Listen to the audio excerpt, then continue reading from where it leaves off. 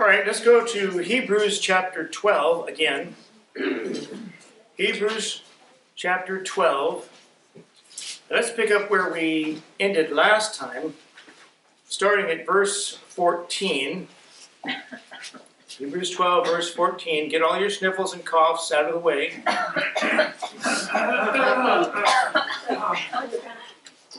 There's always someone. picking on me.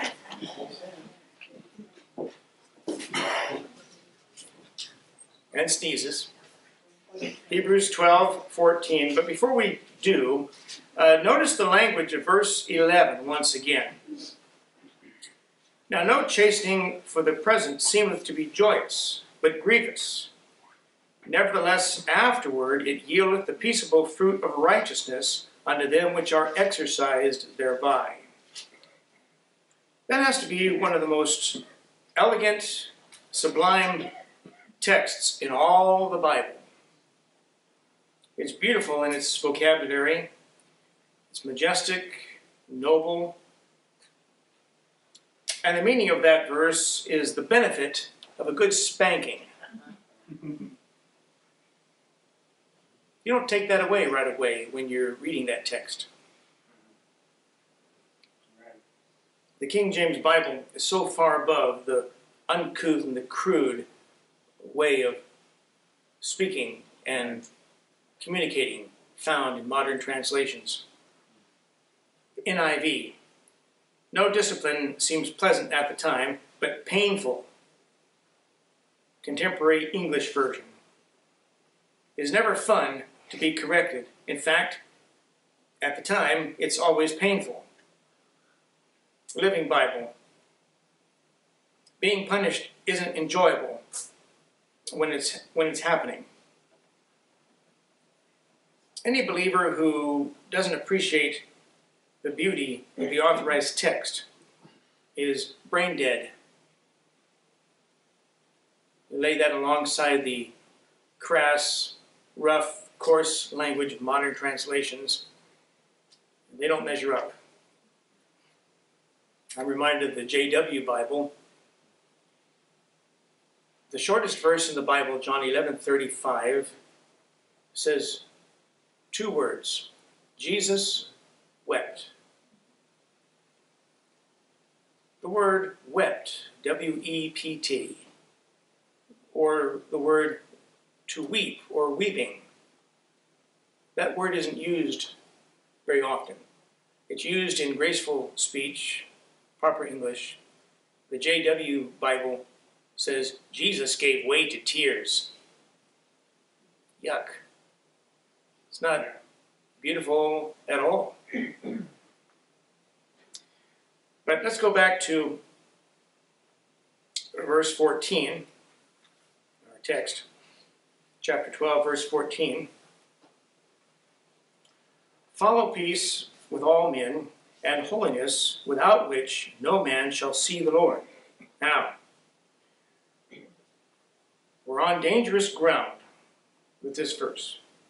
So we have to proceed with great caution today. Go, if you will, to Revelation chapter 1 for a moment. Look at Revelation chapter 1. Revelation 1, notice there verse 7.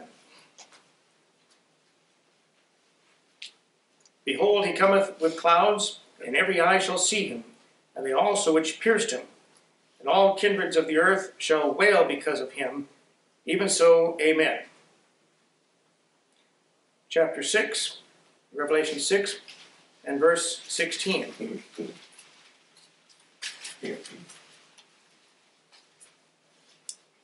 And said to the mountains and rocks, Fall on us, and hide us from the face of him that sitteth on the throne, and from the wrath of the Lamb. So,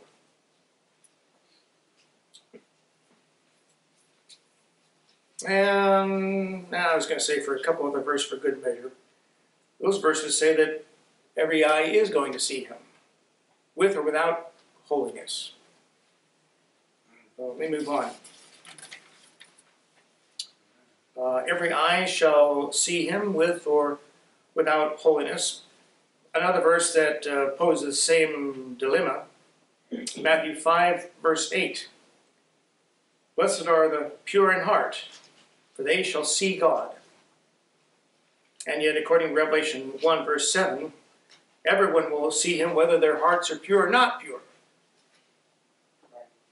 So you can't just plow through a verse and assume that a quick uh,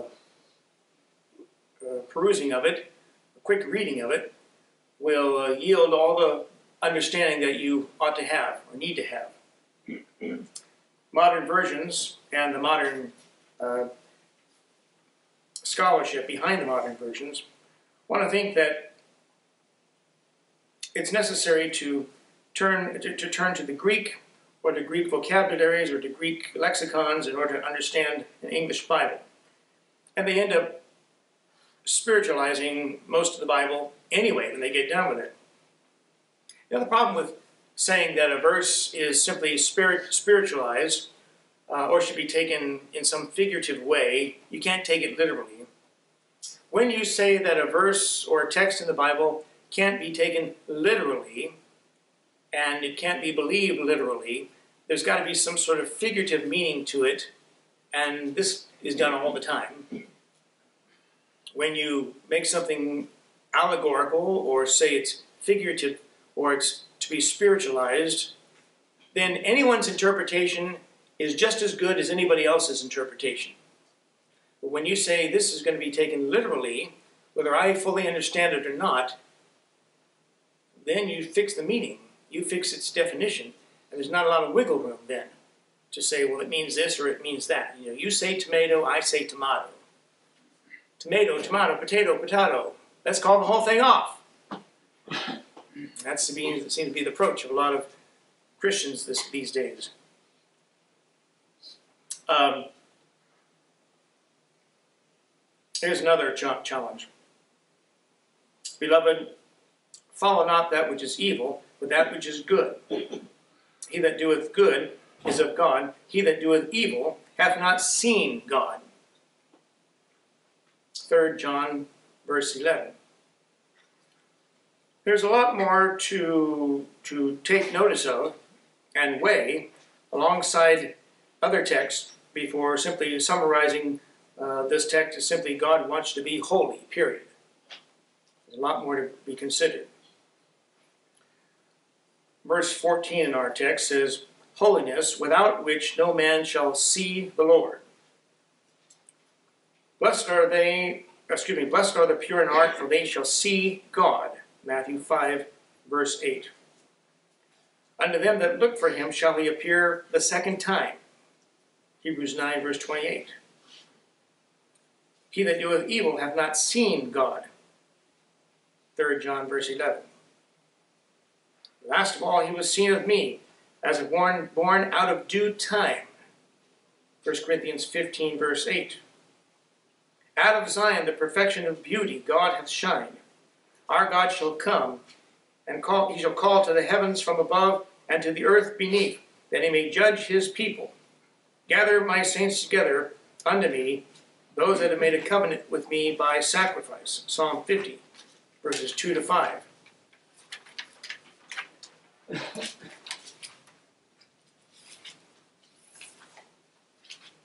God be merciful unto us and bless us and cause his face to shine upon us. Psalm 67, verse 1. The people that walked in darkness have seen a great light. Upon them hath the light shined. Isaiah 9, verse 2. Thou that dwellest between the cherubims, shine forth. Psalm 80, verse 1 says. Those references, all taken together, have to do with a mid tribulation, or what we might call post tribulation, just before the end of the tribulation, appearance of the Lord to the Jewish remnant left behind, those that have not uh, succumbed to the pressure of the man of sin, and they have not taken the mark of the beast. Psalm 80, verse 7. Turn us again, O God of hosts, and cause thy face to shine, and we shall be turned. We shall, excuse me, we shall be saved. I make a mistake here. Deuteronomy 33, verse 2. The Lord came from Sinai, and rose up from Seir unto the unto them. He shined forth from Mount Paran, and he came with ten thousands of saints. Hebrews 12, verse 25. See that we refuse not him that speaketh for it, for, me, for if they escape not, who him that speaketh on earth, such as Moses, much more shall not we escape if we turn away from him that speaketh from heaven. That's where the Lord Jesus was speaking from when he spoke to the Apostle Paul. Go back to Acts chapter 9 for a moment. Acts chapter 9.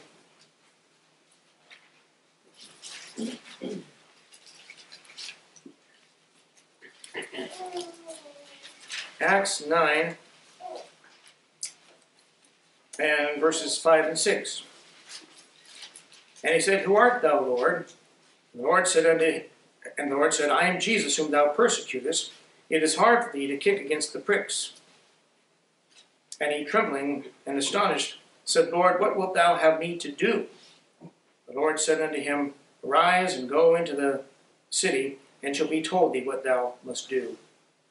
The Lord was speaking to the Apostle Paul from heaven, according to the Bible.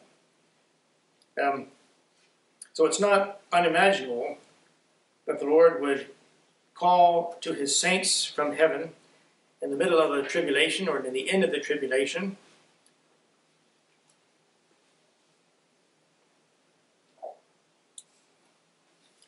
Do I fully understand all of that? No, I sure don't. And yet there's enough scripture to conclude that there's going to be some appearance of Jesus Christ at the end or near the end of the tribulation probably corresponding, probably coinciding with the catching up of the two witnesses. The book of Revelation, chapter 11, verse 15 says, Looking diligently, lest any man uh, faint of the grace of God, lest any bitterness spring up trouble you, and thereby many be defiled. Now, here we're forced into a tribulation passage a tribulation context, I should say. Uh, and it can go one of two ways. Either this is a saved man uh, who fails to get enough grace to endure to the end, to stay holy. Um, Hebrews 4, verse 16 says, Let us therefore come boldly under the throne of grace that we may obtain mercy and find grace to help in time of need. And therefore, to follow after peace, according to verse 14, or else the reference is to an, a saved man, uh, saved uh, who failed to appropriate salvation by grace through faith to start with. Now, doctrinally, the text will have to be to the tribulation saints after the rapture who's uh, in danger of losing it, some tribulation saint who's in danger of losing it if he doesn't hold out to the end. Look back at Hebrews chapter 3.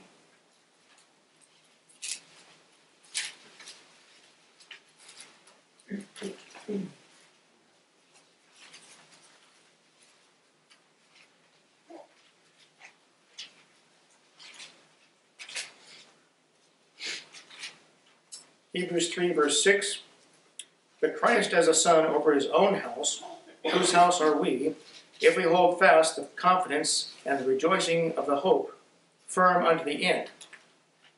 And chapter 3, verse 14. But exhort one another daily, while it is called today, lest any of you be hardened through the deceitfulness of sin. Uh, that's verse 13, I'm sorry. For we are made partakers of Christ if we hold the beginning of our confidence, steadfast unto the end. And Hebrews 6, and the first six verses there. Therefore, leaving the principles of the doctrine of Christ, let us go on unto perfection, not laying again the foundation of repentance from dead works and of faith toward God, of the doctrine of baptisms and of laying on of hands, and of, res- uh, and of resurrection of the dead, and the element, excuse me, and the eternal judgment. And this will we do if God permit. For it is not, for it is impossible for those who were once enlightened and have tasted of the heavenly gift and were made partakers of the Holy Ghost and have tasted the good uh, word of God and the power of the world to come, if they shall fall away, to renew them again unto repentance, seeing they crucified to themselves the Son of God afresh and put him to an open shame. And then in our text here, the root of bitterness that you and I are to are warned against was a warning uh, to the Jew under the Old Testament, not to turn from the Lord, but back, if you will, at Deuteronomy chapter 29.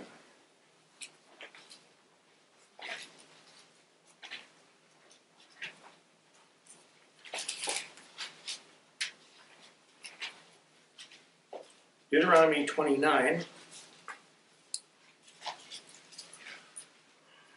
and verse 18.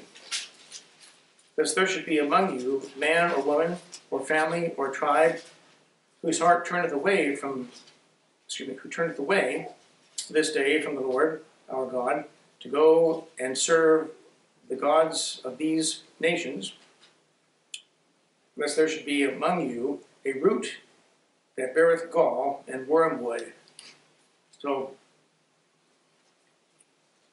the root of bitterness is that someone would turn from the Lord God uh, in the time of tribulation, time of, time of trouble.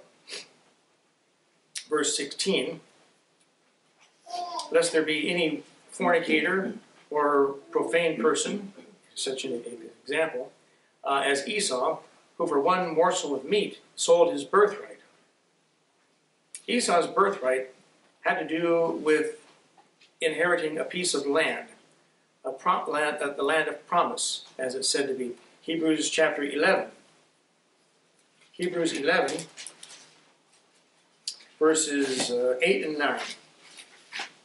By faith, Abraham, when he was called to go out into a place which he should after receive for an inheritance, obeyed and went out not knowing whither he went. By faith, he sojourned in the land of promise, as in a strange country, dwelling in tabernacles with Isaac and Jacob, the heirs with him of the same promise. So Esau's birthright had to do with the promise of land, an inheritance of land.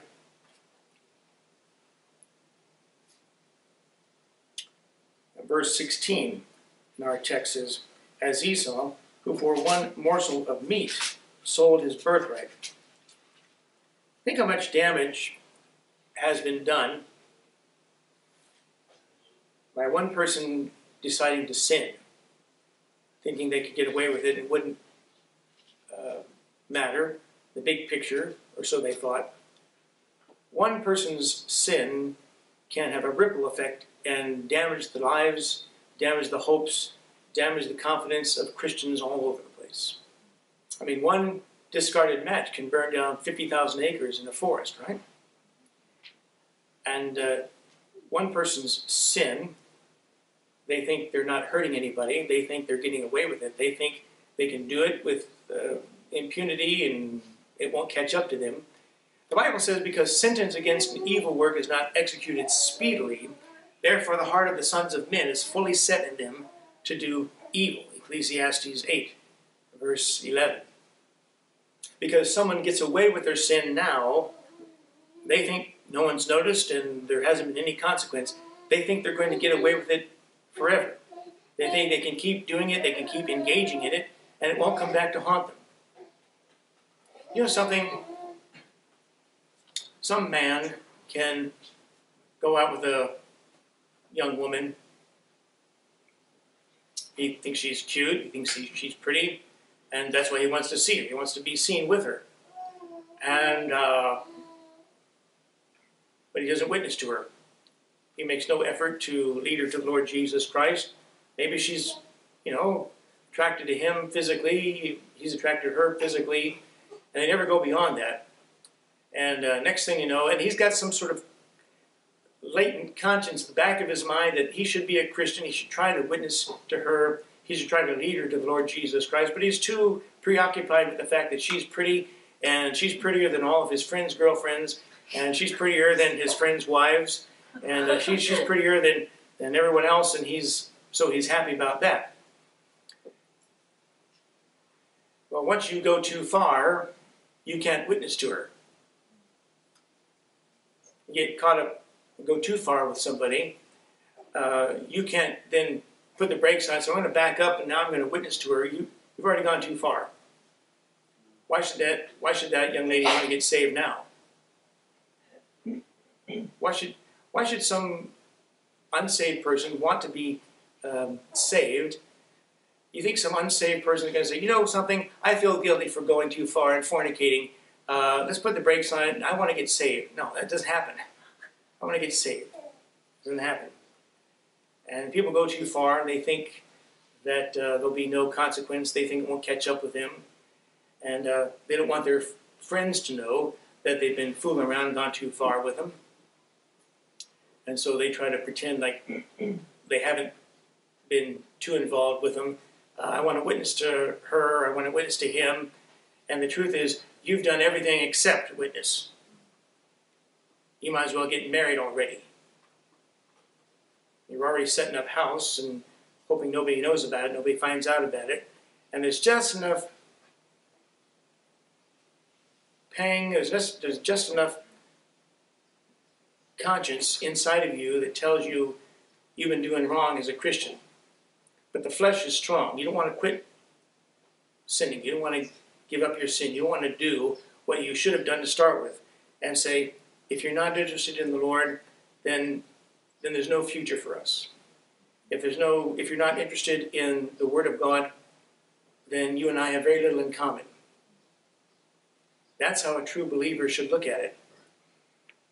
Say, well, I don't want to die an old maid. I don't want to die lonely without a, a woman by my side. I realize that. It can be very difficult. My dad could tell us stories of how many Christian women were told by their future husbands that uh, they would go to church once they got married. They never did. They're going to get saved, but they never did. We had a lady in our church when I was a teenager. I think she had three children, and I don't think I ever saw her husband at church. Met him once or twice, decent guy, good businessman, but he gave her the song and dance that, you know, I'm going to go to church and she was trying to be spiritual. She tried to raise her kids in Sunday school, and as far as I could tell, she did a, a pretty good job at it. But she was lonely. He wasn't interested in the Lord. He was interested in a woman. And that goes on all the time. That happens all the time. and it's very sad to see some Christian man or some Christian woman be so stupid to pursue that relationship thinking It'll be different in our case. It never is. And, um, but for one morsel of meat sold his birthright, Adam, uh, not our Adam here, but, but uh, you know how much damage to the human race, planet Earth, came about from one man's disobedience in the garden? One man's sin, the entire race of man fell because of one man's sin. And it took a Savior, took a Redeemer to come and uh, sacrifice himself for the sake of sinners to put things right once again. And even then, most men aren't interested in it. But the opportunity is there. The redemption was made possible. But one, when one person sets their mind on sin, and the Bible tells us in the case of Moses, it, uh, sin is pleasurable for a season. You know, if sin was painful and tortuous, torturous, and uh, it caused nothing but grief and pain, nobody would be engaging in it, right? But sin is fun. Sin satisfies the flesh. Sin makes you think that uh, you're invincible. You got away with it, and uh, you're happy. You're enjoying it. And if you were to say, I'm going to put the brakes on it, you'd have to admit that you've been in the wrong. And no Christian wants to admit that they've been in the wrong. They don't want to admit you know, I've been wrong, I've been fornicating, I've been sinning, I've been getting drunk, I've been doing any number of things that would be unbecoming of a believer. They don't want to admit that because it makes them look bad. It wounds their pride. So they try to get around it, they try to rationalize it, they try to say, well, at least I'm not as bad as some Christians. Stop doing that. Stop saying, well, I'm not as bad as other Christians have been. I haven't done what they've done. Yeah, but you're not as good as other Christians are either. We always want to compare ourselves to someone who's worse than we are or who has done more um, wickedness or committed more uh, evil as Christians. And we never want to compare ourselves with someone who's been living a virtuous and a chaste and a clean uh, moral life as a Christian. Yeah, maybe they're lonely. Maybe they wish they had a, a, a wife by their side. Maybe they wish they had a husband by their side. Maybe God will bring that one. Maybe God won't bring it. But I talked a couple weeks about deferred gratification.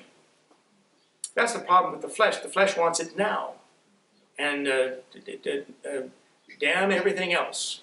I want it now. And I don't want anyone telling me I can't. I don't want anyone telling me it's wrong. I don't want anyone judging me. I'm not judging you. I'm simply pointing out you're a sinner. I'm simply pointing out that you're a hypocrite. I'm simply pointing out that if you're going to be completely honest, then it's going to cause you some shame and embarrassment, and you don't want that. But think how much damage has been caused to the human race because some people won't give up their sin for the sake of righteousness, for the sake of pleasing God. Or we worry about what other people think. We worry about what uh, our reputation at work might be. We worry about, uh, you know, how we're going to look uh, when we're posting our our stuff on Facebook or somebody reads about us online, um, why don't you care what God thinks? You know, one thing that's true uh, is that when you're engaging in sin, you're not reading your Bible. This much I know. Amen. You're trying to engage in sin and get away with sin and think no harm has been done and I, I'm in control, I can handle it, and you're not reading your Bible. You might say, I did read it. Yeah, but you didn't read it with a desire to actually know and have God speak to you. You did it out of some sort of rote uh, practice, some repetition to say, well, I'm a Bible believer, I'm a Bible reader. You might be a saved Christian. You might believe the Word of God to be uh, the Bible to be the Word of God. But as I said earlier, uh, there's a difference between being saved and being a Christian. Being a Christian is hard. Getting saved is easy. It's the easiest proposition in the universe to be saved. Yeah. One of the easiest things you'll ever do is to trust Jesus Christ as the forgiver of your sins, whose uh, blood washed away, can wash away your sins by a simple act of faith. You're trusting in nothing else but the power of Jesus Christ and His grace to save you. Becoming a Christian is a very difficult thing. It's a different proposition entirely. I don't mean uh, using the word Christian like every unsafe cult uses it. They all think they're Christians. But I mean someone who, first of all, is a believer. Secondly, they are given over to living for Him no matter what. Would to God that every believer took it seriously and said, I want to be a Christian. I don't want to just say that I'm saved. I want to be a true Christian. And my life completely given over to living for Jesus Christ and whatever He wants, whatever He desires of me. That's what I'm willing to do. There was an old gospel song, whatever it takes to be more like you, that's what I'll be willing to do. Great lyrics, great melody, it's a blessing to listen to. But when you listen to the words of that song, you realize sin destroys everything. Preach a sermon couple of weeks back about the moth-eaten garment the picture of sin. It can destroy everything. A little bit can ruin. Listen, um, I only have a piece of white paper to illustrate this with. No. All right, I'll do it this way.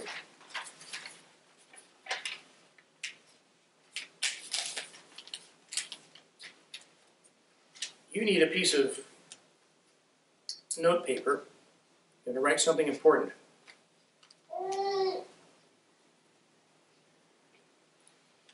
And you pick up a piece of paper, but it's got a little mark on it like that. Do you want to use it, or do you want to find one that has no mark on it? Normally, people will find one that has no mark on it because this, they say, this is ruined. It doesn't look good. Yeah, but the rest of it's clean. It's clean over here. Ignore that one little piece, but most people don't look at it that way. And Christians don't look at their lives that way. They don't look at the one little sin. Didn't the Lord Jesus say a little leaven leaven up the whole lump? He certainly did. And so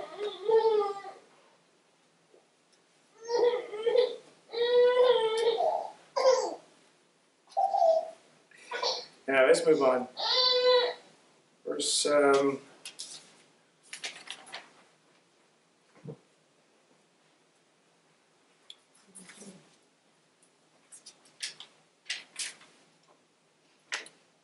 too many people, saved people, I should say, they sacrifice the eternal on the altar of the immediate. I want it now. I don't care what anyone says. I don't care what, how anyone objects to it. I don't care what other Christians with a better conscience than I have say about it. I'm going to do what I want to. You know, people, uh, my dad, uh, mention him again, he said something to me years ago, and uh, the more I've thought about it, it stuck with me people do what they want to do. They will justify anything, they will rationalize anything, and it doesn't matter the consequences. One little sin can ruin a family, one little sin can um, bring on greater sin, ruin a society. One little sin can ruin the upbringing of children. One little sin. So it's like the sign of the forest fire a guy tossing the match out the window, and the slogan said, One careless moment. So it is. One sin by Adam and his wife brought on the uh, destruction of the entire human race. Problem is, Christians want to apologize. They want to say, I'm sorry for hurting you. Why don't you apologize for hurting God? He's the last person they care about. They say, Well, God's a big boy, he can handle it. Don't treat God that way. I'm telling you, you're setting yourself up for judgment. You're setting yourself up for chastisement. You deal with God that way. There's a difference between being saved, that's your standing, and being a Christian, that's your state, your state of affairs. Too many people know they've been saved, they've been born again. They can tell you when, where, how, under which circumstances, but they're not Christians. They're not Christians. And uh, I hate to say it that way, but that is tantamount to the truth. Verse 17 of our text. For you know how that afterward, when he would have inherited the blessing, speaking of Esau, he was rejected, for he found no place of repentance, though he sought it carefully with tears. Well, that's going to match uh, Hebrews chapter 6, the first six verses there, uh, about not renewing them again to repentance.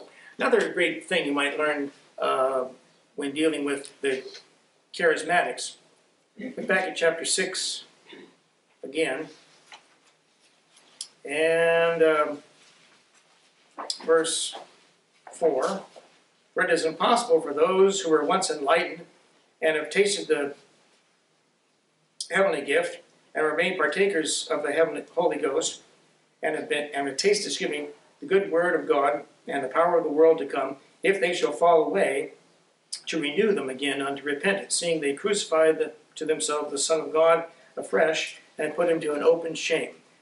Uh, whenever you deal with a charismatic or a Pentecostal, take them to this text and say to them, uh, according to this text, if you lose your salvation, it's impossible to get it back again. They've never read that because they're morons. They, they don't know that because they're not reading their Bible. They don't know anything about rightly, dividing the Word of God. They don't realize that not every promise in the book is yours, not every chapter, every verse, every line, not everything written in the Word of God applies to you as a New Testament believer. It makes for a nice, uh, feel good uh, praise chorus, but it's not doctrinally true. Not everything written in the Bible is intended for you uh, when the Bible says, um, not by works of righteousness which we have done, but according to his mercy he saved us. And when Ephesians 2 6 tells us that God has raised us up together and made us sit together in heavenly places in Christ Jesus, then you can't come along with Hebrews chapter 6 and say, well, some people can lose their salvation, when other verses indicate you can't lose it. It's already a done deal. So you have to learn how to rightly divide the word of truth and understand not everything in the Bible is intended for you to follow absolutely perfectly uh, down the line. But um, after the rapture, it'll be too late, devotionally speaking, to suffer for Christ's sake, to try and witness, try to read your Bible more, to endure to the end, to endure a little embarrassment, endure a little uh, shame, if that be the case. And a believer, as a believer, uh, it's been said, only one life will soon be passed. Only what's done for Christ will last. That's great admonition for a believer in this age. There is no such thing as a second chance. You're not going to go through the karmic cycle of birth and rebirth and reincarnation. You know, to be reincarnated, that's not what the Bible means when it says you must be born again. That's that's that's the way some people interpret it who don't know the Bible and they want to believe in Eastern gobbledygook anyway. But in the tribulation, if someone does not hold out to the end, if they have not obtained enough grace to endure and uh, be strong until the end of the tribulation, they're in danger of losing it. Look forward, if you will, before we conclude this, to Revelation chapter uh, 12. Revelation 12.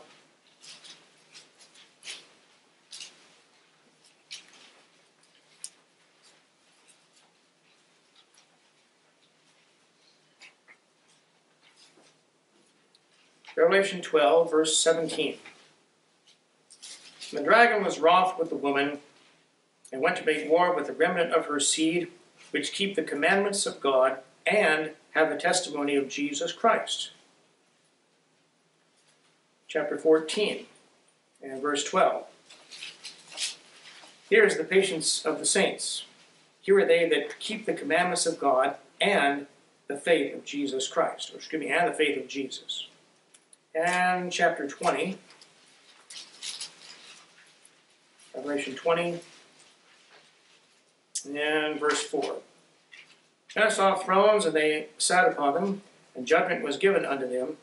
And I saw the souls of them that were beheaded for the witness of Jesus and for the word of God, and which had not worshipped the beast, neither his image, neither had received his mark upon their foreheads or in their hands and they lived and reigned with Christ a thousand years. The ones who had done that or not done that. In the tribulation, salvation will not be a matter of by grace through faith. Oh, this is how every Calvary Chapel preacher uh, presents it, because they don't know anything about the Bible. They think it's by grace through faith no matter what.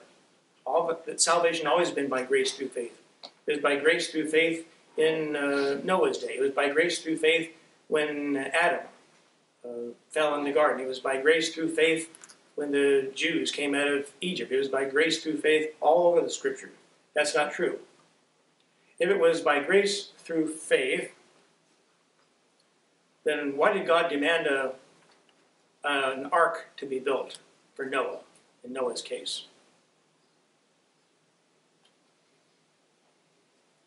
Was simply, simply a matter of grace through faith, and works were not involved, then why did Noah build the ark? It was a matter of grace through faith. Why did God command animals to be sacrificed and offered in the book of Exodus and through the law? It's not been the same way all the time. And it won't be the same way after the catching up of the saints. After the rapture of the saints, salvation will then be a matter of grace and works some element of grace and works coupled together. We don't believe we're going to be here, so how much grace, how much works, we can't say. I don't plan, I don't intend to be here. But I can say this much there's at least three verses right there Revelation 12, 14, and 20 that would indicate salvation uh, requires some act of work or obedience to maintain your right standing with God, your salvation. And I'm glad I'm saved now. You know, I'm not waiting to pass some future test. I'm, wait, I'm saved right now. I'm not waiting to avoid the Antichrist. I'm not waiting to see if I endure to the end. We read about it and we try to uh, understand how it's going to apply to someone after the catching up of the saints, but it doesn't apply to me. I'm saved right now. Amen. That'll be a big amen on the end of that. I'm saved now. Amen. Um, Amen. and uh, that's the greatest blessing in the world. The greatest blessing in the world to know that I went from sinner to saint that fast on November 5th, 1967. Almost 52 years ago. And this is the marvelous thing. It's just as vivid in my mind as it happened two weeks ago.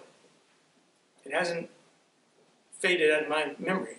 I hope that it never does. And trust the Lord that it won't.